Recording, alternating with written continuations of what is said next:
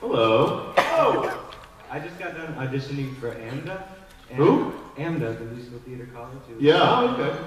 Um, and I would like to know if either of you two can sing. And if so, I sing in the shower. Oh, there's, a, there's an embarrassing photo of a video of me when I was younger doing Phantom of the Opera, and I was Phantom. My mask was too big; it kept falling out, and I sang like a like a six-year-old girl. So That's out there somewhere. hopefully. Google. Who? Me? Yeah, Paul and I walk around humming some tunes and stuff. We keep our. We harmonize. Yeah, I can't speak right now. I'm definitely sing because I was at um, Jessica Ramsey, who's the co-secretary of ISF. It was her wedding last night, and I was the minister. I officiated the wedding.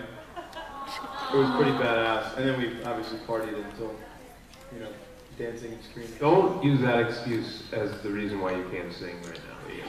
Oh no, I mean if I could, I would, I would belt out a few little notes, but I can't. Is that why you were I'm gonna late? pass. Down here on the